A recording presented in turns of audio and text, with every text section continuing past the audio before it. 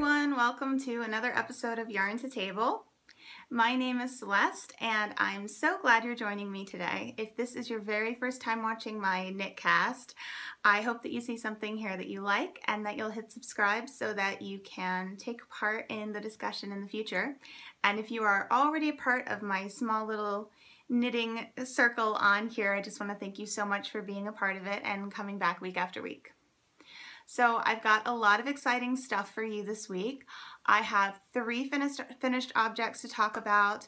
Um, I have some really exciting stash enhancement to take a look at. And uh, I'm going to talk a little bit about my knitting goals for the year at the end, um, as well as the chit chat segment that I promised you about my six week vegan challenge. So um, please kick back, take out your knitting, and let's talk yarn. This week I am drinking Celestial Seasonings Peppermint Tea. Now before we jump into finished objects, I have a few administrative things to get out of the way. First of all, if you don't know, there is a Ravelry group. You can find it by clicking the link in the doobly-doo or searching for Yarn to Table on Ravelry. And I am also on Ravelry as celestefohl as well as Instagram so you can keep up with me there. There's lots of details in any of the projects that I share on my Ravelry page because I keep that quite up to date and the Ravelry group. Uh, I hope that you join that because that is where you can find uh, detailed show notes for every episode as well as giveaways and knit-alongs. So right now we do have a knit-along currently going. It is the hashtag new socks KAL and the concept behind this knit-along is that you will knit a pair of socks or more um, between now or when the knit along kicked off last week and um, and April 30th. And it has to be something new, a new technique, a new kind of yarn you've never used for socks. I give lots of examples of the various uh, things you could be doing with socks for the first time in the chatter thread that's on the group. So go ahead and check that out and uh, get inspired and I hope that you will join us. I also have an announcement about that KAL. Um, so Andy from the 10,000 Stitches podcast, which I'm sure you are also watching because it's fantastic, has very generously offered to donate some of her hand-dyed yarn as a prize, which I think is great because we can get some sock yarn in there and just have some uh, an awesome sock-related prize for this knit along. Um, so thank you so much, Andy and I will update you guys with more particulars on that as it comes up. Um, there was another prize that I had mentioned earlier, the Gardener's Mitts pattern by Yarn and Time Designs. Um, and that's either going to be a prize for this knit along or I might actually save it as a prize for another knit along that I will be co-hosting that I will be um, announcing and giving you some more info on um, next week. So look forward to that. I'm very excited about it. Okay, now it is finally time to jump into finished objects, so I won't try to ignore the elephant in the room anymore, and I'm actually going to take it off because it's a little hot in here. Um, you may have noticed I have finished my meandering shawl. Um, so this little bit of brioche goodness is something I've been working on for a few weeks now. It's been my um, main source of knitting excitement. It's just been super fun to knit. Um, and I did it out of, um, so this is a Stephen West pattern, and it takes a fingering weight, which is the multicolor, and a DK, which is this pink. So I did it out of the uh, first installment of the local yarn club from a homespun house in Nesting, which is the multicolor, and Knit Picks Capra, which is a merino and cashmere blend in flamingo for the pale pink. Um, I love the combination.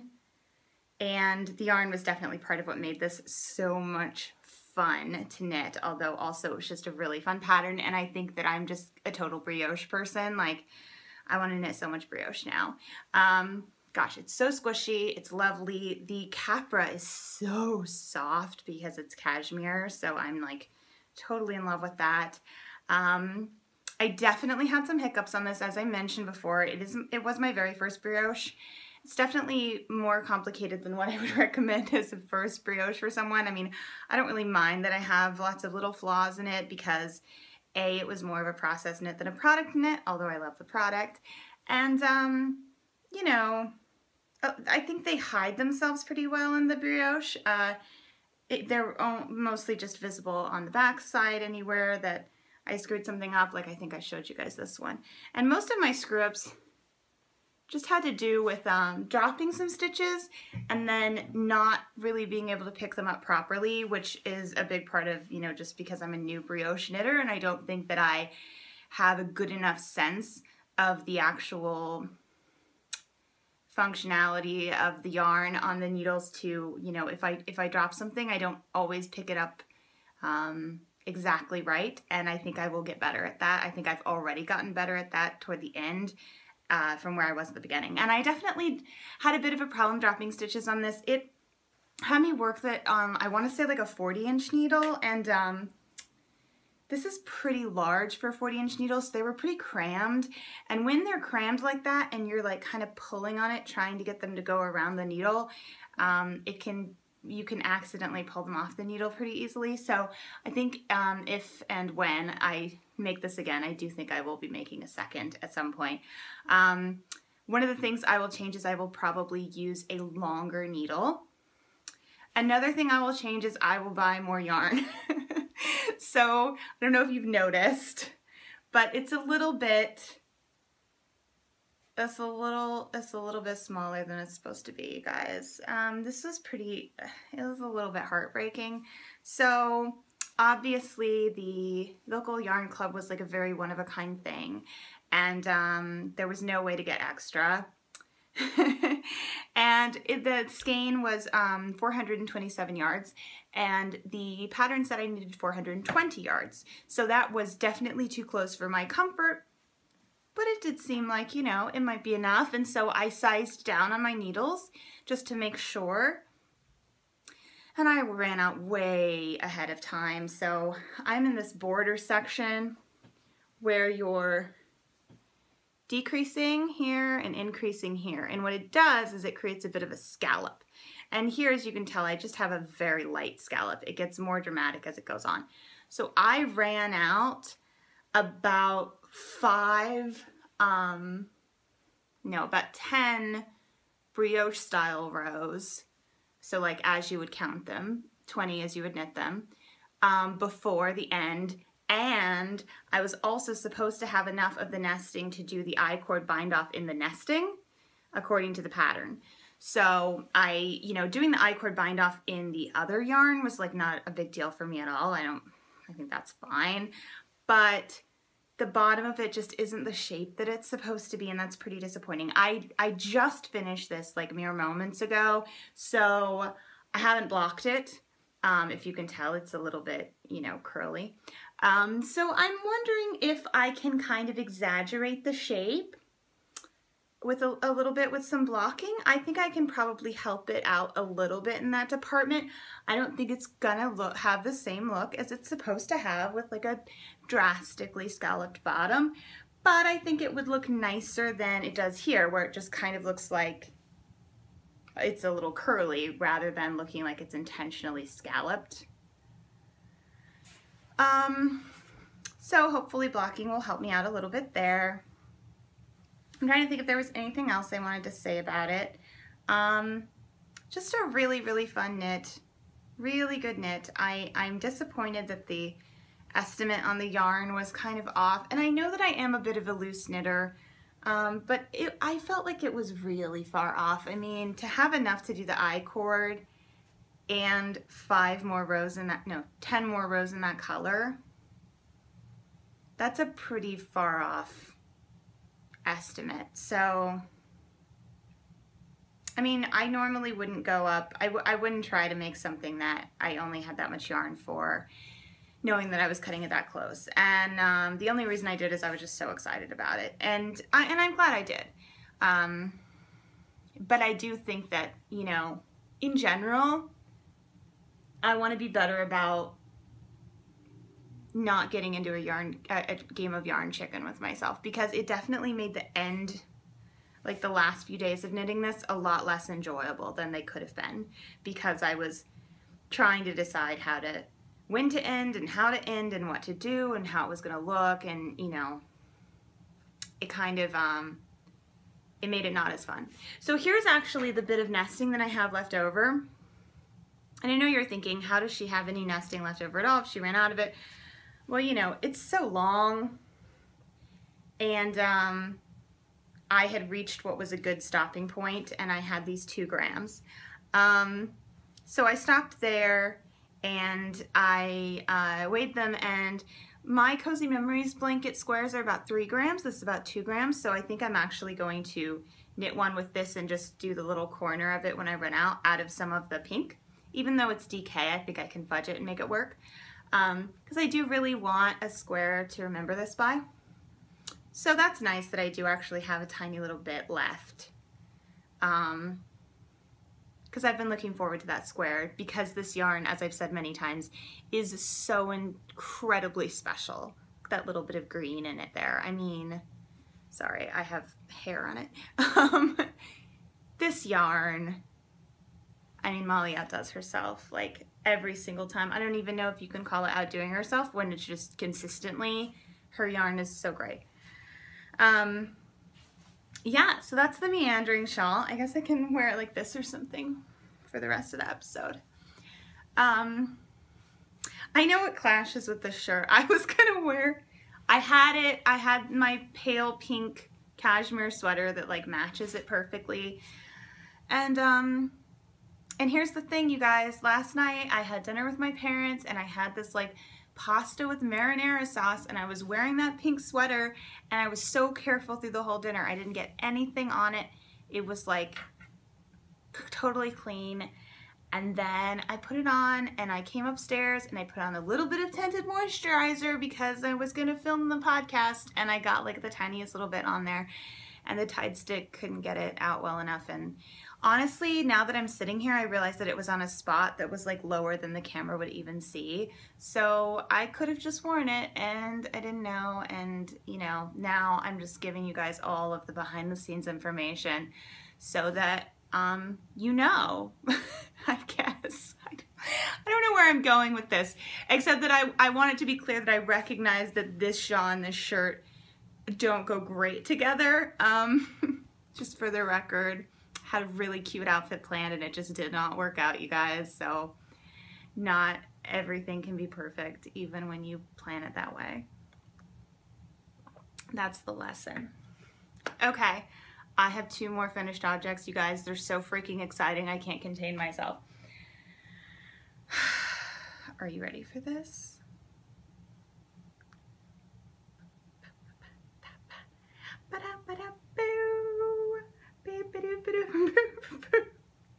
oh my god, look at their look at their little cottontails.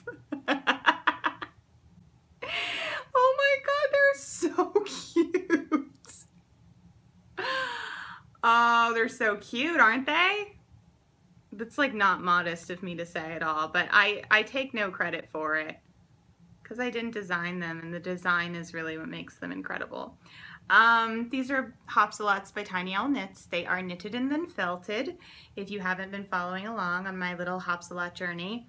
Um, and then the face was done uh, embroidered with yarn. I did a little satin stitch nose and some French knot eyes and then little pom-poms for the back. Um, as I said last week, the slippers themselves are actually identical. You can tell that there's a side uh, right and a left. Only because when I felted them, I did them on my feet to kind of give them that shape.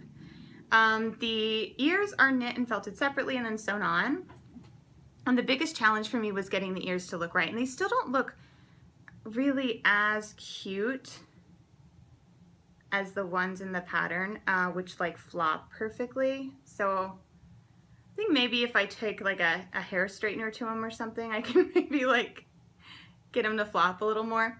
Um, but initially I just pinched them in the front and I had them sewn um, sort of in a straight line this way and they would just flop to the side and they didn't look cute at all. So then I came back and I pinched them this way and sewed them back and forth that way and kind of tacked them on the edges to give them a better shape. So I, um, I've had to futz around with the, oh, that's cute.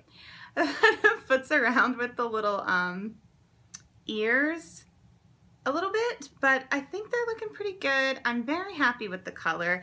If you haven't noticed, it's um, the Capra as well in Flamingo. Um, nice little garter stitch sole, which I think gives it a nice texture and thickness. And this was my first experience with anything larger than a ring felting. Um, and it was really fun. So I talk more in detail about that actual process in uh, an earlier episode. I think it was last week. Um, so if you're interested, you can check that out. This will definitely not be my last foray into the wide world of felting um, because I'm I'm definitely I'm I'm in love with it now for sure. Um, what else is there to say about these? I mean, they're adorable. They need names. I haven't come up with any names for them yet. Um, I was toying around with Rabbit Romijn Stamos, but you know, much as it makes me laugh, I'd rather they have adorable names than ridiculous joke names. I'm taking the naming of my slippers a little seriously. I'm insane. Um, yeah, so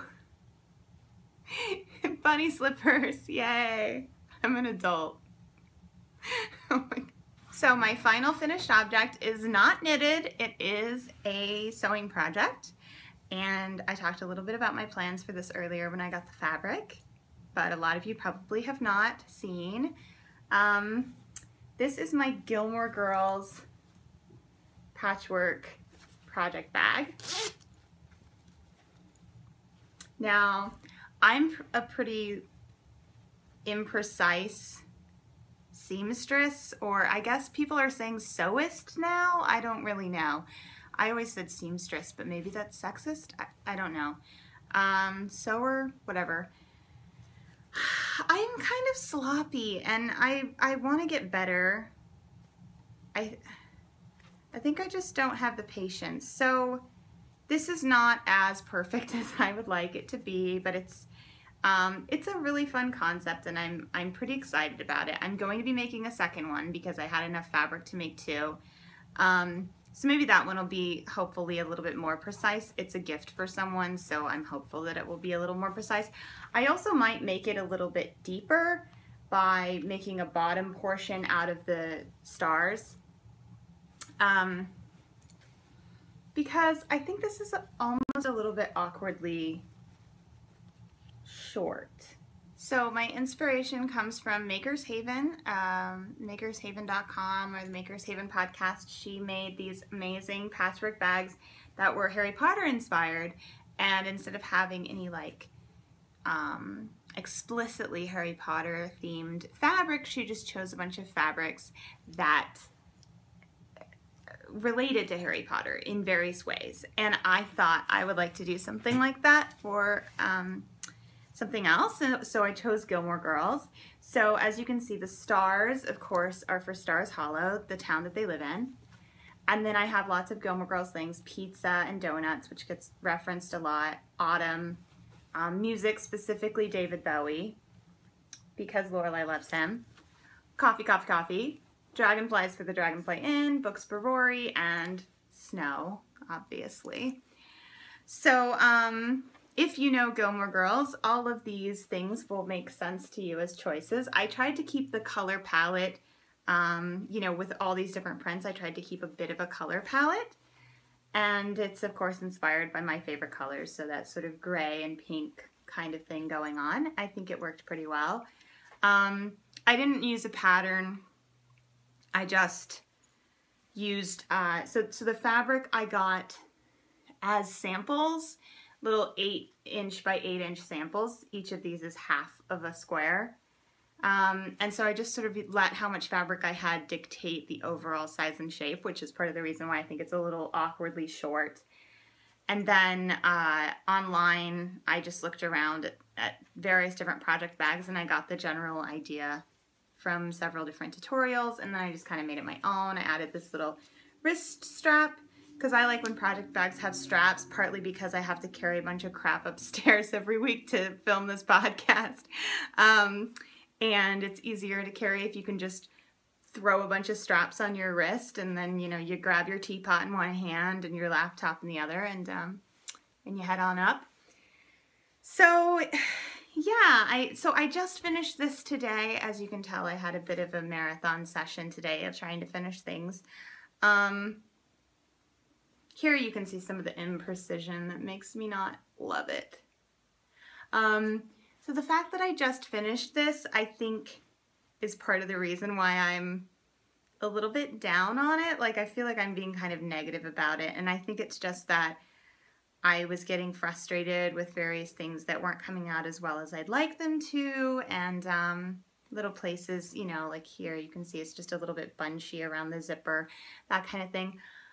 I'd like to say I'm not a very experienced sewist. um, but I've been sewing for a long time. I've just never sewn very consistently or had any real in, um, like formal instruction. So I think I get a lot of the concepts, but I don't necessarily like take all of the precautions you should take to make things um, work as well as they should work. So like I said, on my second on my second go, I think I'm going to be a little bit more precise. And I am I am warming up to this bag. I'm I'm starting to love it even in its imperfection. I still love the concept, of course. I think it is the perfect size for socks and I needed another sock project bag because as you've seen for a while now, I've just had my husband's socks in the canvas that came with my fringe supply. Hey, shh, we're recording a podcast right now. I've needed another sock bag because as you've seen for a while, I've been just carrying around my husband's socks in the canvas bag that my fringe supply field bag came in, which speaking of which, let's move into WIPs. So this is the bag I was mentioning. Um, you know, whatever works. This is my only WIP that I've been working on this week, obviously. Um, a lot of my time was spent finishing up this guy, and also I didn't get in as much knitting this week as I often do. Um, so this is Knit Picks Felici in Beyond the Wall. You've seen it before, so I'm not going to go on and on. Just made a tiny little bit of progress. It's my kind of on-the-go sock. Um, vanilla. For him, I'm doing 2.5 inch needles and 60 stitches cast on. As I mentioned I was going to, I have measured this on his actual foot in the gusset area to determine if I thought he would need a heel flap and gusset or just a fish lips kiss heel. Um, and it fits great, so I think I'm just going to do a fish lips kiss heel. I'm sorry, my cat keeps making so much noise. I'm trying to get him to get into my lap, but he doesn't want to. Um, honey, come here. So as I mentioned, I was going to measure the sock around my um, husband's foot around the gusset area to try to determine if he would need a heel flap and gusset or if he would be okay with just a fish lips kiss heel because I'm still trying to figure out the perfect fit on his socks. And it fit really well, so I think I'm going to just go with the fish lips kiss heel because like I said, he kind of has a large gusset area, like a heightened step, but he also has a small heel, so it's been um, a bit of a question. So we're going to try that, see how that goes. I'm almost to that point. Um, but I haven't been knitting on it very much this week because, like I said, it's just been my kind of on-the-go project. So for On the Horizon, I don't really have anything new to show you um, or to talk about. I've been planning on starting the Floam cardigan, but I wanted to get this off the needles first. Um, kind of was counting this as like my garment since I of course also have my um, my Ashburn. Wow, it's been so long since I've worked on it. I don't remember what it's called. Um, so I need to work on that again. But uh, I'll start the Floam sometime soon. It's time to start my March uh, pattern socks, my Renesmee socks. I should be getting going on those. Those are both things I thought I might start this week, but I, like I said, I just haven't had as much knitting time. So that'll probably be coming up this week. Um, and then I want to talk a tiny bit about dream knitting. So this is different than on the horizon for me in that this is where I'd like to mention when it's relevant any kind of new patterns or something that I found that I'm excited about doing, but not necessarily right away. It's just sort of a nice little dream knitting thing. And I don't know uh, if any of you are on the Quince & Co. newsletter, email newsletter, which um, I probably should cancel because, you know, nobody needs to get newsletters to remind them of things they want to buy. But um, I ended up on it somehow, and uh, somehow by buying yarn, I ended up on it because I bought yarn. Um, and if you are on it, then you know that this week they released a collection of patterns called the Linen Noir collection. It was five different patterns using their linen yarn, um, and they were all done in black, you know, so very gorgeous. And there was a lot of nice variety. They were all very light, as you can imagine. There was a cardigan. There was kind of a boxy three-quarter length sleeve t-shirt. There was sort of more of a cap sleeve t-shirt that had some nice lace detailing in the middle. Um, there was a sleeveless sort of short dress or tunic and uh, something else like a plain long sleeve t-shirt, something like that. Excuse me. And I love them all. I favorited them all. Um, I can totally see myself knitting all of them and I'm right now because spring is kind of popping up around here. I've been very much in the mindset of lighter things, knitted t-shirts and blouses and knitting in linen and silk and all of those lovely thin drapey fabrics. I've got some stuff uh, planned to do with that soon and these were just very much in that mindset. Um, so I marked all of them and I would love to do any of them in the near future. I was really enjoying getting a new email every week and seeing what the latest linen noir pattern was because I loved them all. All right, it's time to get into stash enhancement, which means I'm probably gonna have to put this cat down. Oh, there he goes. Great. Okay, good job. Wow, you are, you're a little bit disruptive. Has anyone ever told you that? Let's start with the least interesting and move our way up. So, our first thing that I have is not yarn. it is some pom-pom makers. Um, and they have been opened, but I'm still just keep Augie, really? Can we can we try to not get in the camera? Okay, thank you. Um, so I so we're gonna try and do this with him in my lap. He's very needy right now, and very furry. He's shedding because it's springtime. Um, so I have actually opened these. I used the smallest one for the cottontails on the um, Hopsalots, uh, but I'm just kind of keeping them in their packaging right now. I just got them on Amazon for a really cheap price. Um, that's the brand. Uh, they had terrible instructions that were impossible to read. It took me like three times to do it correctly. Um, but once you do it correctly, it's like a very easy way to make um, consistently sized pom-poms and certainly faster than having to create your own little thing. And um, so I figured I needed to get these eventually and I used the Hopsalot as an excuse for when to get them. So you're gonna go up there now? Are you? I don't think you can make it from there. You're not as young as you used to be, Augie. Okay, don't get on the keyboard. Oh my god, this cat. Uh, so yeah, so they were really cheap and a nice addition to my my tools. This freaking cat. He's being really bad right now. You cannot hit the camera with your tail. Oh my God. Okay. Now we're gonna work our way up toward the most exciting. I have three types of yarn to show you. And when the first one is Quince & Co., you know there's some exciting yarn. These are two skeins. I actually have 11. uh, this is Owl, and the colorway is Tyto or Tyto. Um, it isn't undyed, so it's just naturally comes off the sheep in this lovely sandy color. And it is super soft, very squishy. Um, owl, if you don't know, is 50% wool, 50% alpaca, and I believe worsted. weight.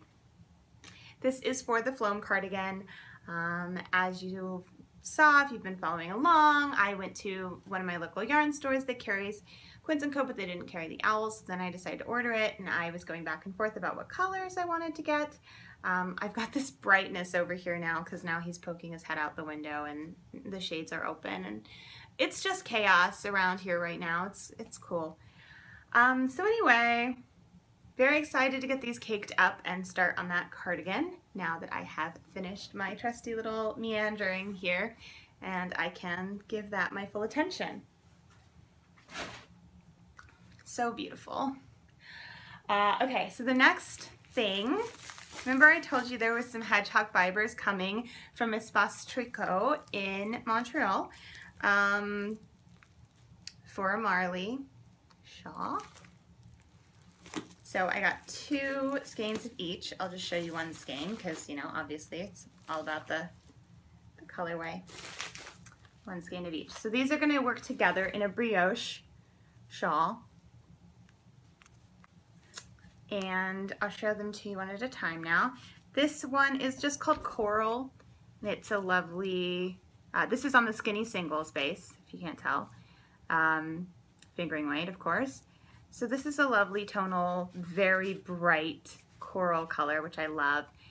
And then this is the one that I really fell in love with and then I was looking for, okay, well, what's gonna be the perfect tonal to bring that out? And I decided the coral was. Um, but this one just blew my mind. This is called Bramble. And I just really love where you can see there like the complexity in those speckles. How many colors and yet it really has a subtle look to it because it's mostly this nice cream color. Um, just really gorgeous, really gorgeous. I could do an entire sweater out of this, absolutely, without, like, no question. So, I've got two of each of those, and um, I don't know when exactly I'll be starting on the Marley. There's some other things I need to prioritize. Right now, um, but you know, when I'm starting to itch for some more brioche, I'm sure they'll be coming out sometime soon. Hopefully I can get that Ashburn off the needles and then I'll stop feeling so much guilt. And the final, and arguably most exciting bit of yarn I have to share, is the second installment in uh, the Homespun House Local Yarn Club. So this was, of course, the first installment here. Um, so if you're in that club, you're going to want to look away and I'll tell you when. Um, and I won't say any actual color words, but I am going to say the name of the colorway. Um, actually, why don't I just flash the name of the colorway up in text when I'm showing it? That way anybody out there who might be expecting this doesn't have to worry. Um, so let's see. If you're unfamiliar, Molly from a Homespun House is living in Germany. Um, and uh, she's originally from America, but she, her husband is German. Um, so she's been in Germany for a long time. And um, she is doing this local yarn club where she has non-superwash wool from a local um, farm or ranch or whatever you would call it. And it's all like family owned and um, processed in her area and it's just gorgeous. It is very sheepy and just smells lovely. It's a little bit more rustic, but it is certainly not itchy at all. Um, and it's just, it's just really gorgeous. I've really, really enjoyed working with it uh, in the meandering, so I'm super excited about this new one. Um, the base color on this is one of my very favorite colors in the world. And uh, I just think it's really subtle and gorgeous. So I'm going to show it to you now. Look away if you don't want to see it, and I'll tell you when to look back. So you can see it's much more subtle in a way than the other one. Um, the name is on the screen in text. And it of course came with this sterling silver Progress Keeper, which I probably can't show you properly or describe what it is. Maybe I can give you a good angle on it. Okay, let me just take a, let me just open the package. This is crazy. There, you can see it. So I am obviously very, very, very excited about that. And we'll see what that gets turned into. It'll have to be something very special like the other local yarn club installment was. Um, maybe we'll see what the third installment is and maybe the second and the third will want to play together. I don't know. Or maybe it'll just hit me like it did with the meandering shawl. Um, you can look now, by the way. Sorry, I forgot to tell you. You can look now. Um, so yeah, that'll be exciting to see what I want to do with that. So before we get into chit chat, I want to talk to you a little bit about my knitting goals for the year. And I know that we're like halfway through March, so it's kind of a funny time to do it. But it just got me thinking because of my giveaway, how that was my prompt for you guys and you had such awesome answers. Um, I thought, why don't I share what I've kind of been thinking about for my knitting goals for this year. So I have a lot of them, um, but I'm just going to speed through them for you here. Uh, some of them you will already be familiar with, like how I want to knit two pairs of socks every month, one patterned and one vanilla. vanilla. Uh, I've been keeping up with that okay so far, although I haven't started my patterned March socks, and we're halfway through March, so um, I really need to get on that if I'm going to keep up. Uh, I would also like to knit six garments for myself. They won't all be sweaters. Some of them will be uh, summery garments. I'd also like to start experimenting with hand dyeing this year. Uh, I haven't done anything to get going in that department. Um, so it's possible that that's going to get delayed further, but I, that is definitely a goal of mine. Um, I'd like to keep up with my Cozy Memories blanket and my uh, Beekeeper's quilt. Um, I'd like to knit at least one everyday hat, so that's going to come in the fall um, since we aren't really having super cold weather now. But as I've mentioned before, I, I don't really have a hat that I knit for myself that's like a good everyday hat.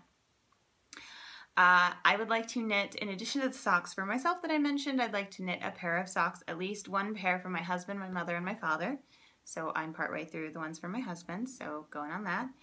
Um, I would like to make a sweater for one of my friend's babies who is due in the summer, and I have that picked out.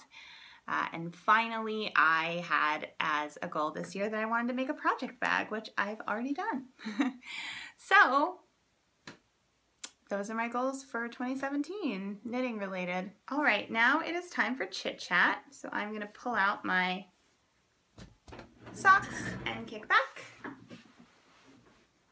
and let's talk about what's going on. Um, so as I mentioned before, I decided to try veganism for Lent. Um, I am not a religious person. I'm not Catholic. Um, my in-laws are Catholic and my father was raised Catholic.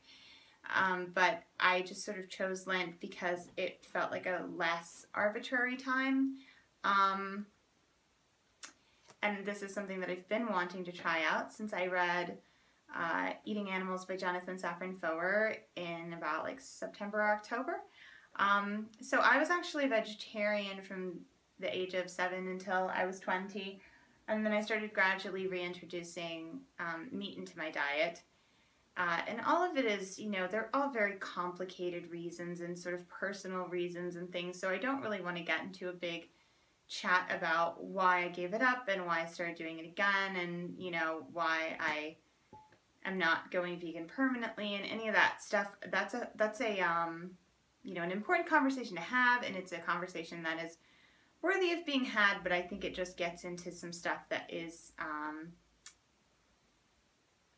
a little bit difficult, it, a little bit difficult to talk about and just sort of one level more um, in depth than I think is appropriate for just like a chit chat segment on this podcast that doesn't really have anything to do with this. So I kind of just want to share uh, for, for in this context, like my experience with it rather than talking really in depth about like my reasoning because I think it's a very personal thing.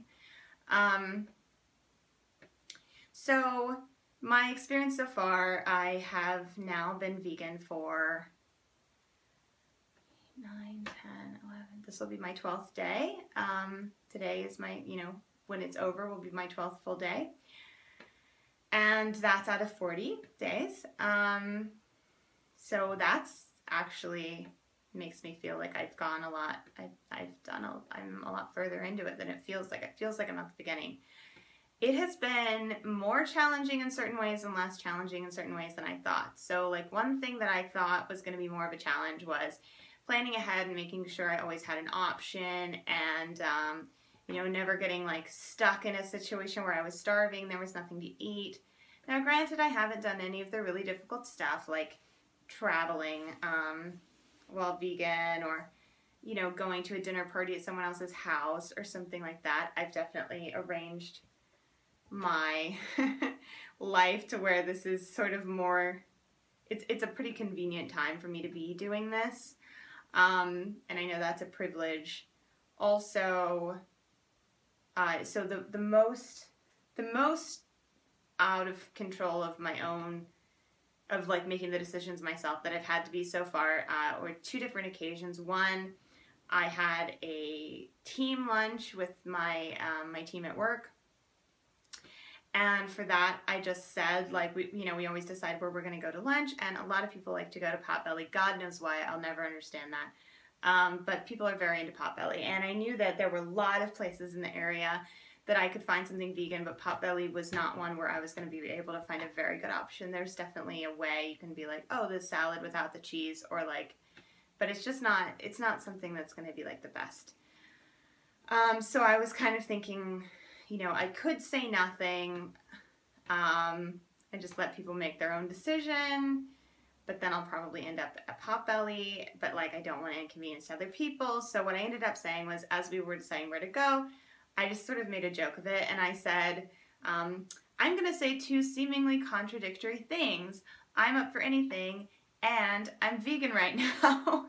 and everyone kind of laughed and then it became a conversation and we ended up going to this great um, sushi, place that we have locally that's like the Chipotle of sushi. So you point at stuff in front of you, and they're actually a great place to be vegan because they have a tofu option instead of fish, and they have a ton of vegetables and like seaweed salad, and I mean it's like actually a really really good vegan option.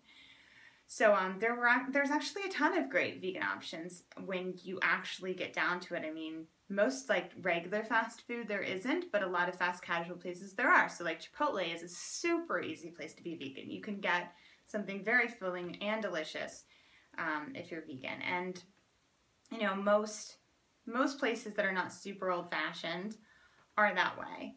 Um, the the one other time when I didn't really have much control was last night. I told you I was eating pasta with marinara sauce. Um, this was a family dinner and it's really weird because my mother is vegan, but she's always just like never trying to inconvenience other people. So we were going out to celebrate my brother getting this um, really great and competitive full-time internship this summer and uh, where he's going to be doing business analytics for the city of Cincinnati, which is like so exciting. I'm so happy for him.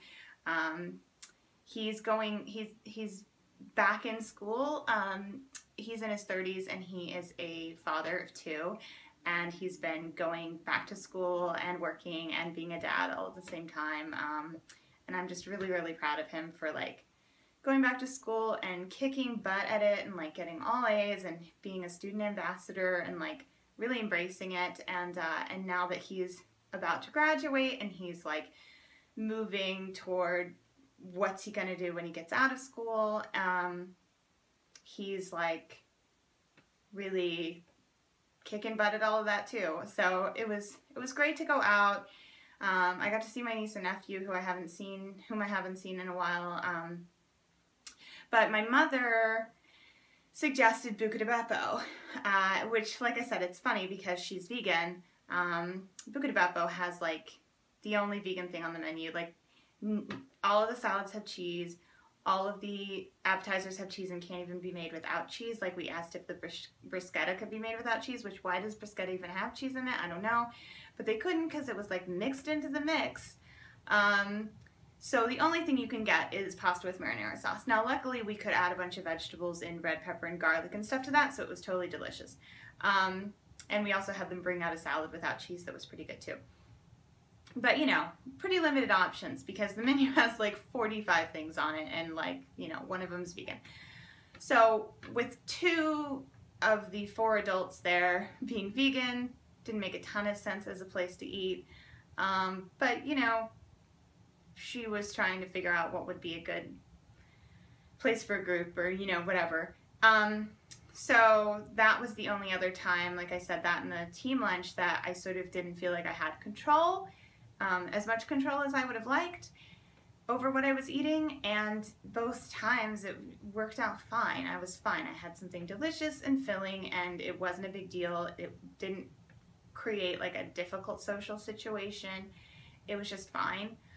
Um, and then I've had a lot of really fun uh, experiences trying things that I wouldn't normally try. So we had our game night last night. If you hear a constant tapping, that's my cat's tail. Sorry about that. We had a game night, not last night, um, Friday night at our house, which we do every so often, and we always order pizza. Um, so I just ordered cheeseless pizza for me. We had a pizza that was half, um, you know, one of the pizzas of the several pizzas that we got, we had half cheeseless. Um, and still had toppings. And it's from my favorite pizza restaurant. It's a local place called Adriatico's, and they have a very, very garlicky crust and a very delicious spicy pizza sauce.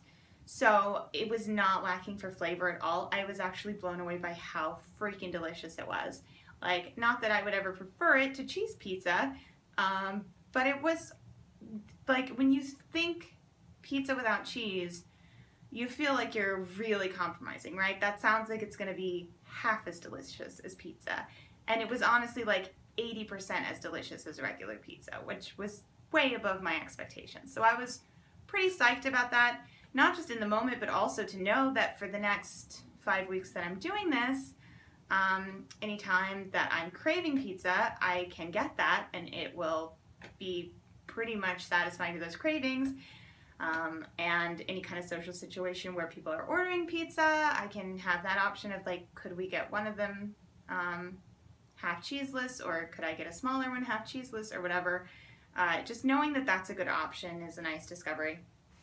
Now, in terms of the more negative side of things, um, vegan cheese is gross, y'all. It's like, it's disgusting. and when I say that, I don't mean like, I don't mean like the kind of thing that is that doesn't even taste like cheese. Like, okay, let me explain this. Like a vegan mac and cheese that you get at a restaurant has this nice creamy sauce that's made with nutritional yeast and uh, cashews and it's freaking delicious. Now I don't think it tastes anything like cheese. I actually like it more than mac and cheese. It's one of my favorite foods. I think it's so freaking good. But like Daiya brand cheese slices or grated cheese or anything like that, it's just not it's just not good. Um, I've heard that for a long time from vegans, so I've never tried it. I eat meat substitutes all the time. I eat lots of plant milks, um, you know, like nut milks and, and soy milk and coconut milk. But I never tried vegan cheese because I always heard from vegans that it's gross. Um, so then I thought, okay, the cheese is going to be the real challenge for me. That's what I'm really going to miss. Uh, so maybe I should try it. And uh, I had like the tiniest little piece of the corner of a slice of Daiya cheddar cheese. And it made me want to throw up. I couldn't handle it. So I was just like, I wanted to experiment more, but I was so upset by that that I didn't. So like one thing I was thinking about was there's actually, because I live in the cool neighborhood, um, there is a vegan pizza place that delivers vegan cheese made with, or vegan pizza made with Daiya shredded cheese on it. That would have been an option for game night. But I thought, you know what, I'd rather just have cheeseless pizza from a place that I know makes delicious pizza. And like I'm I'm curious about those options, but I just I dipped my toe in and it was it was a very rude awakening, so I just don't think that I'm don't think I'm going to be ready to try any more vegan cheese anytime soon, to be honest. Um, a big part of why I'm doing this is I really wanted to get a real world sense of how big of a sacrifice veganism would be for me if I were to do something like that permanently because I want to be really intentional about my decisions and I I'm the kind of person like I don't eat um, meat all that much and I will quite frequently have like uh, a day that's totally vegan until dinner, you know, like a vegan breakfast, vegan lunch situation. I'll get soy milk in my coffee. I'll make those kind of small decisions. Um, but if I'm gonna make the decision to still eat dairy sometimes and even meat sometimes, um, I feel like it's it's really important that I know what that decision is, not just in terms of the consequences that it has on the planet and on the lives of animals and you know all of the many consequences it has on my own health, etc. But that I know that the thing that I'm choosing not to do, which is to be a full-time all the time vegan, that I know what that actually looks like, that I don't have in my mind an idea of something that's more difficult than it really would be or less difficult than it really would be. I, I want every day that I'm making my decisions to, to have a real understanding of what those experiences are. And I think, you know, I can't sit around and say, uh, the sacrifice of being a full-time, all-the-time vegan isn't worth it, you know, for my personal happiness weighed against the difference I would be making in that decision. I've decided that for now I'm going to continue to eat animal products. I can't really say that if I don't know what being a vegan full time actually feels like. So I thought six weeks was a really good period of time to get a sense of how that would actually feel. Because, you know, you do like a week and you don't really know what it feels like to be craving the heck out of some cheese and not able to eat cheese. Um, you don't really have a good sense of that after a week and you don't really have a good sense of how frequently you're going to be in social situations that are going to be um, affected in some way by your diet and you know just etc etc or, or even how your body's going to react to it. And I feel like that's been really positive for me. At first I was having trouble. I was not eating enough food um, and I was getting like hangry by the end of the day.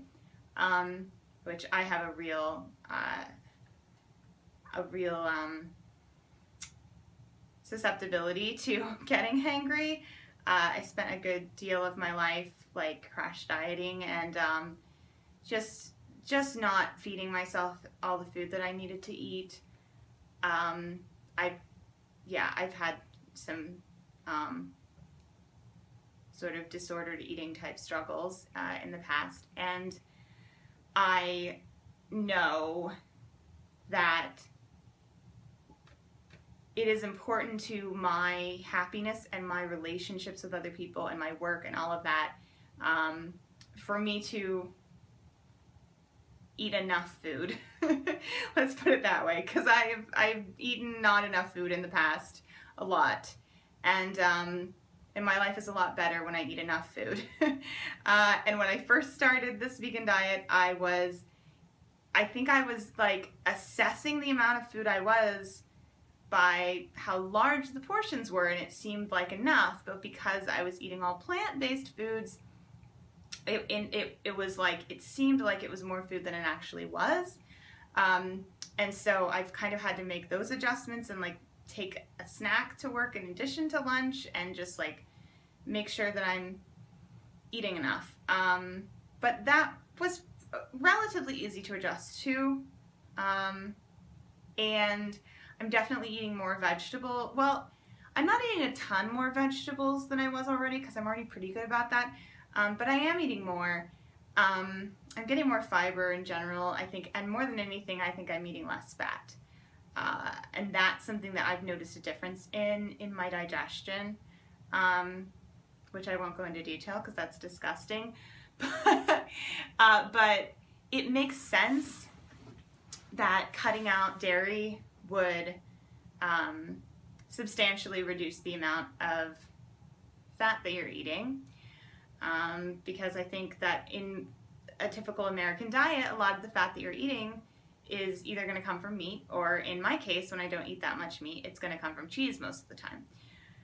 Um, and so when you cut out all the cheese and all the meat and all the ice cream and all the, you know, everything else, um, I just think I'm eating a substantially less, substantially less fat. And I have noticed that that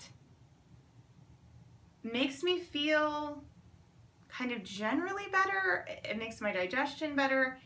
It feels like a good choice for me. And I think that people can very easily get into a place where they're eating way too little fat. I mean, you need to remember that fat is a way of staying satiated and there are healthy fats and unhealthy fats. And, you know, there was a time when fat was really overly demonized. And I, I don't think that you should be just like never eating nuts or avocado or like trying to live some kind of crash low fat diet. But I do think that after this, I'm probably going to be a little bit more um, aware of like what percent of my caloric intake is coming from fat and um, and maybe using more moderation when it comes to those choices and trying to eat more of the healthier plant-based fats. Um, so we'll see how that goes. But those are pretty much my big takeaways from the experience right now. Like I said, I'm really early into it, so maybe I'll give you guys a bit of an update toward the end. Um, and yeah, uh, I guess that's all I have to talk about this week for Chit Chat. Um, there's other stuff going on, but I don't want to keep you guys too long. Um, so like I said earlier, we're going to have a new knit along coming up that I'm co-hosting with people, so that's going to be really exciting. Make sure you tune in next week for that announcement, and um, lots of fun stuff coming up.